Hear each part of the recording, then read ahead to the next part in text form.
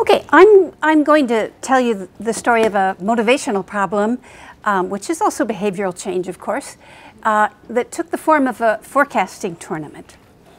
Um, IARPA sponsored, IARPA is the Intelligence Advanced Research Project Activity. It's the research wing of the intelligence community. And it sponsored a uh, four-year project uh, to elicit and aggregate intuitive forecasts. Now, we all know that people can't make predictions very well. Um, yet, despite that, IARPA set up this program to figure out how to devise the best possible ways of eliciting forecasts and then aggregating them from a large dispersed crowd. Um, so the, in the tournament, there were five university-based teams that competed against each other, and the goal was to come up with, um, as I said, the most accurate way to elicit and aggregate um, predictions about all kinds of geopolitical events. Um, financial and commodity, finance questions, commodities markets, uh, naval strategy, pandemics, electoral outcomes, uh, you name it, it was out there. So no one could be a, um, an expert in everything. We're, we're, these were uh, very smart lay people who signed up. And the question was, our question was, how do you motivate them? How do you get them to spend, um, well, thousands of people actually, to predict hundreds of events over four years of their lives and keep doing it? So this was quite a, a long period of time. And um, the single best tool that we discovered for doing this was the following. It was to identify and cultivate people that we called super forecasters. Now, super forecasters were the top 2% of thousands of people who'd signed up for, for this tournament. And they're, they're regular people, but they worked incredibly hard.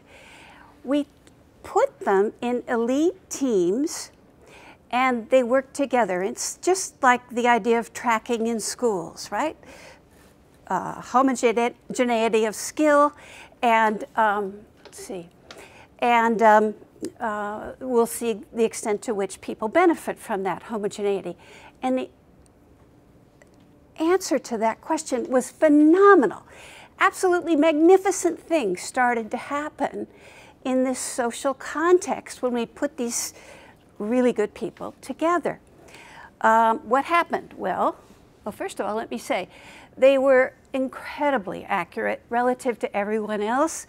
Um, they wanted to win. Now they wanted their team to win because it was a co competition co uh, cooperation situation. They cooperated within teams, competed among teams. So here's what they, some, a few of the things they did compared to regular forecasters. They predicted lots more questions. You know, they went from an average of about 45 to about 90 questions when there was roughly 100 per year for them to forecast. They posted, they talked a lot more about specific questions, about general purpose strategies, cognitive triage, and so forth. They, um, they liked to gather new, you know, newspaper articles and op-ed pieces and so forth for their teammates. They talked, they shared news, and they talked about their rationales.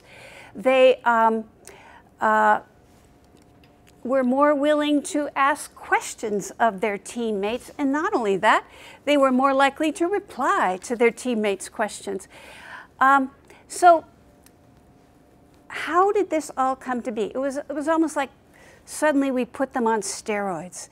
And they went from, say, an average of one and a half forecasts or updates per question the questions, by the way, were open for a period of time, and they could come back in and update anytime they wanted.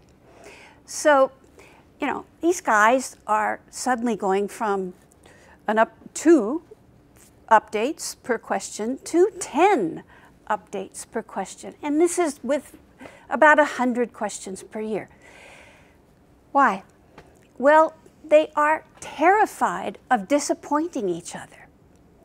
They are holding each other accountable in a way that other forecasters were not. They were, whoops, I'm out of time. Okay, so You can finish. far be it from me to complain about anything in this conference here, but um, I'll just put in a plug for the power of the social context.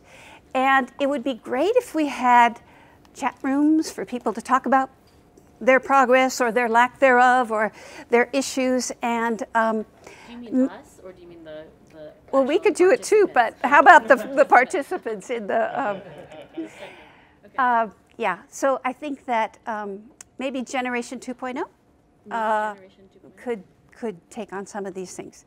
Okay, thank you. Thank you.